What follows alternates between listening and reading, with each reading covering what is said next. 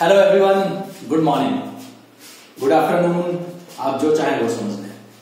Welcome to the world of concept and the visualisation आखिर वो world of concept और visualisation मैंने क्यों कहा?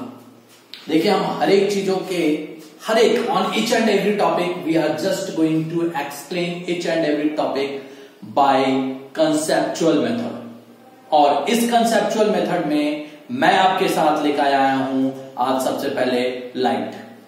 ज़्यादा से ज़्यादा चीज़ों के बारे में डिस्क्रिप्शन जानने के लिए प्लीज़ सब चैनल को सब्सक्राइब करें और बेल आइकन को दबाएँ। चलिए तो इसी के साथ मैं स्टार्ट करता हूँ आज का टॉपिक और आज मैं लेकर आया हूँ आपके सामने लाइट लाइट को आप लोग पहले से ही जानते हो और बहुत अच्छे से जानते हैं कि लाइट आखिर होता क्या है। You already know about light that what is light but now today I am going to visualize the light that what is light और लाइट कैसे काम करता है? कैसे आपको देखने के सेंसेशन को क्रिएट करता है? इज़ इट ओके देखिए, सबसे पहले जो लाइट है, वो क्या एक ऐसा फॉर्म है? किस चीज़ का फॉर्म है? It is a form of energy या फिर दूसरे लैंग्वेज में हम कह सकते हैं it is also what it is also type of electromagnetic radiation what is radiation जो पैकेट्स के फॉर्म में निकले that is called radiation radiate out जो कहीं से किसी भी चीज़ से बाहर की तरफ़ निकले that is what that is called the radiation तो यहाँ पे हम किसके बारे में बात कर रहे हैं? इलेक्ट्रोमैग्नेटिक रेडिएशन के बारे में. तो लाइट एक तरह का ऐसा इलेक्ट्रोमैग्नेटिक रेडिएशन है, जो क्या क्रिएट करता है? जो हमारे अंदर है. हमारे कहने का it mean what living organism के अंदर। लिविंग ऑर्गेनिज्म मतलब क्या कहना चाहता हूँ मैं?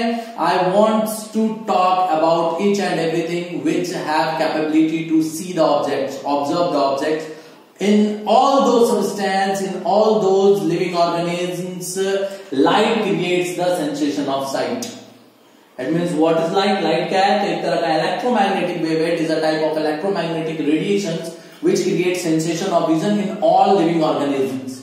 जो देख सकते हैं उनके अंदर ज़ाहिर सी बात है। Is it okay very good लेकिन आगे हम देखते हैं कैसे हैं? तो जो हम देखते हैं चीज़ें हम देखते हैं लाइट के बारे में देखते हैं या फिर हम जो डिफरेंट टाइप ऑफ़ सब्सटेंस को देख पाते हैं this is only due to of what due to of properties of light तो अगले वीडियोस में फिर मैं आपको बताऊँगा what are the properties of light और कैसे उन प्रॉपर्टीज़ ऑफ़ लाइट के हेल्प से हम चीज़ों को देखने में कामयाब होते हैं।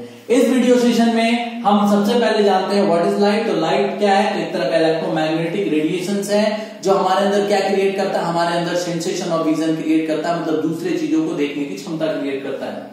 Is it okay now some important terms about light तो सबसे पहला क्या है? सोर्स आखिर कहीं से किसी भी चीज़ के बारे में जब हम पढ़ते हैं, आप हिस्ट्री पढ़ते हो ज्योग्राफी पढ़ते हो व्हाट यू स्टडी सबसे पहले आप क्या पढ़ते हो?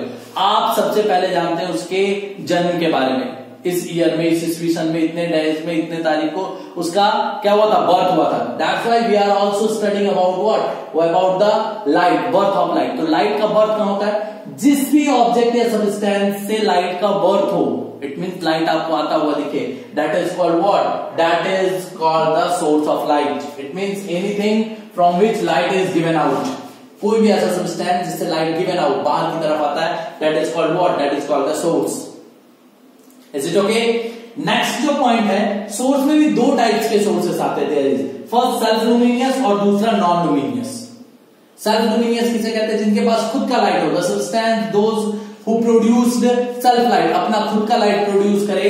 That is called what that is called luminous self luminous जो अपने लाइट को खुद प्रोड्यूस करे। खुद प्रोड्यूस करने वाले, जैसे sun it means it may be there may be a chemical reaction वहाँ केमिकल रिएक्शन हो सकते हैं एनीथिंग एल्स कुछ भी हो सकता है। Due to of any process अगर वो लाइट क्रिएट कर रहा है then that is what that is self luminous but वहीं पे नॉन लुमिनियस लाइट किसे कहते हैं? जो दूसरे के लाइट्स को यूटिलाइज करे सच एज मून रात को आपको चमकता हुआ दिखता है। बिल्कुल देखते हैं हम, रात को चमकता हुआ उससे लाइट भी आती है। हम आसपास की चीज़ों को देख भी पाते हैं उस लाइट के कारण। But moon doesn't have their own light it utilize the light of what? It utilize the light of sun. That's why that is known as what? That is known as non luminous इसलिए हम उसे क्या बोलते हैं? Non luminous कहते हैं। Is it okay why it is called what it is called non luminous इसके बाद अगला जो इंपॉर्टेंट पॉइंट आता है वो मीडियम मीडियम क्या है? ऐसा कोई भी substance through which light can travel जिससे लाइट ट्रेवल कर सकता है, जा सकता है. That is called what that is called medium और या तो उससे जाने का प्रोपोगेट करने का ट्राई करे. या तो चला जाए.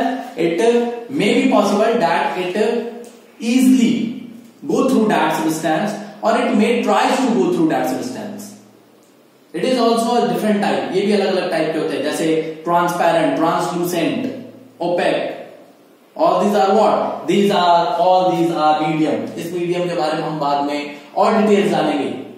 जैसे what is denser medium what is rare medium is it okay तो अगला पॉइंट क्या था हमारा? मीडियम फिर लास्ट में मैं इस वीडियो को एंड करना चाहूँगा रेंज ऑफ़ लाइट के साथ। रेंज ऑफ़ लाइट मतलब हमारे आसपास अलग अलग तरह के, ये जो रेडिएशन होते हैं इलेक्ट्रोमैग्नेटिक रेडिएशन इसके अलग अलग रेंजेस होते हैं।